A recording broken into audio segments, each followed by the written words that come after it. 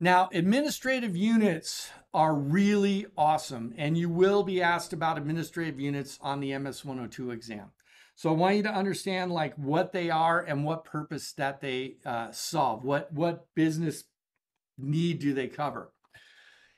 If you have uh, several locations, let's say, or several departments. So in this example of this slide, we've got an HR department, we've got a finance department, we've got an IT department, and a marketing department. And uh, we want to have people who are performing administrative tasks or assigned administrative roles, but we want them scoped to that specific department. So, in other words, for, for whatever reason in this organization on this slide, they say, look, we're going to dedicate uh, a certain number of IT people we're going to dedicate them to the finance department. So they're going to be the finance department's IT people. And we're going to dedicate a different set of uh, IT people to the marketing department and a different set to the IT department and a different set to HR. Maybe it makes sense to do that. That's at least for this slide. Well, that's difficult to do uh, if you just assign someone, for example, the global administrator role and they're in Microsoft 365, they're the global administrator role, or let's say, let's even take it down a notch, the SharePoint administrator role. What you can do is you could say, look, the we can create an administrative unit and we can have a query that says only grab people that are part of the finance department. And if they are, they fall under the administrative unit of finance. And then we can assign a SharePoint administrator who will only be the SharePoint administrator over uh, people involved in the finance department.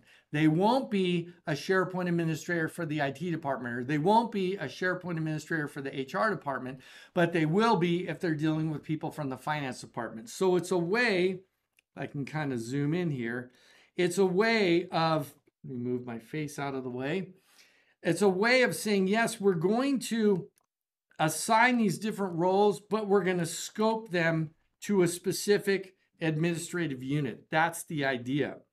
And if you do that, then the scope of where they have the ability to perform their administrative roles are that administrative unit. That's what administrative units are.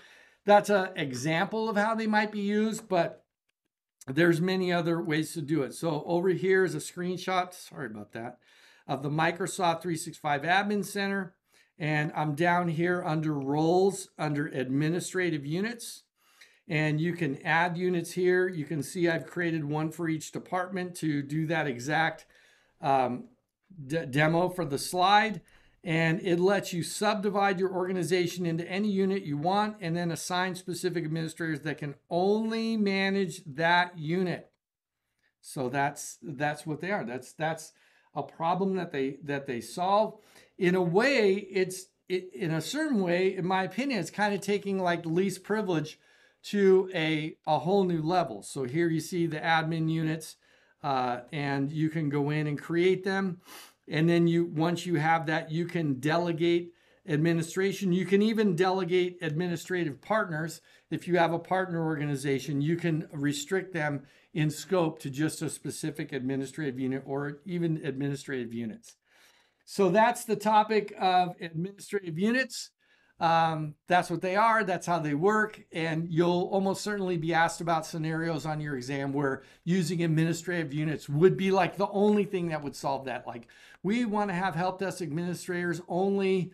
Uh, only be able to service people in the IT department, what would be a solution? And you see one of the options is to create an administrative unit for IT users. That would be the solution. All right, next thing we're going to talk about is assigning roles. So let's